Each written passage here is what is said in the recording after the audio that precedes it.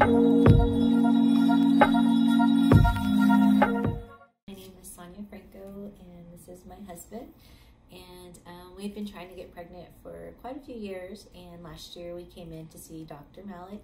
And um, now, after what, uh, March, April, May, June, July, August, October, November, after eight months, um, we got on Clomid, and now we're seven weeks pregnant. Oh, so- sorry.